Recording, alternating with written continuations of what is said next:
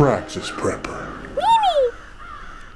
This is a really expensive flashlight. $60, you know, it is more than I can spend myself personally, but it was sent to me to test it out, and it, it is an awfully nice flashlight. It is more waterproof than this guy here, certainly more waterproof than this, and what I like about it is the size.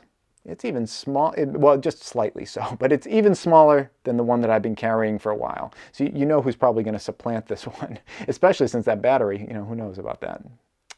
Uh, has a lot of nice features uh, on it here. Uh, it just has one button for, uh, you know, on off, and there's a little place for a lanyard here.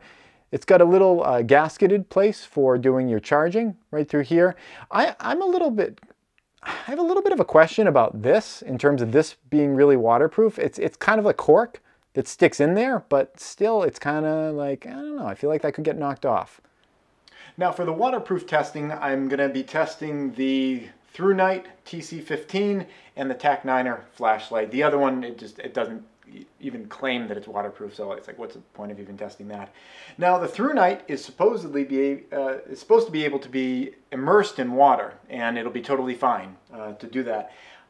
I'm also going to do the same test on this one. I mean, the, the, the TAC9er is supposed to just be like, it can get spritzed, you know, with water, uh, you know, sprayed in, incidentally, like rained upon or whatever. But it's like, you know, why not just overkill it a little? So I'm, I'm actually going to submerge them both, and we'll, we'll, we'll yeah, we'll see how it goes. Uh, first, the ThruNite TC15.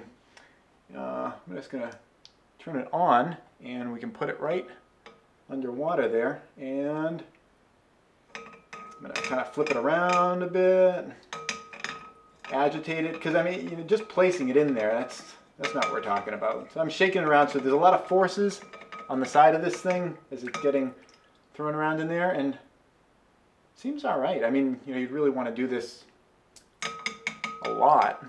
I'll leave it in there for a while. Anyway, let's talk about this one. Uh, it has a few different settings that are all controlled through uh, this, this button at the front. This one is super bright. This has a super bright um, top setting of 2000 lumens, which is just insane. That's an enormous amount of, of light power. Right now, it's just on the Firefly mode. I'm gonna turn that off. And you do little uh, hold downs to go through all the different settings in this one. So overall, I mean, just really simple, but really compact and put together really well. But $60 for that one. Uh, what you're really getting is you're getting something that's smaller, you're getting something that's more waterproof, uh, and you're getting something that has a lot more light output. I don't see the light output as being super important to me, just because, like I said, it's like usually, you know, I'm just going for that, like just a little bit of light at night kind of thing. But uh, you know, definitely you can appreciate the difference in size between these guys.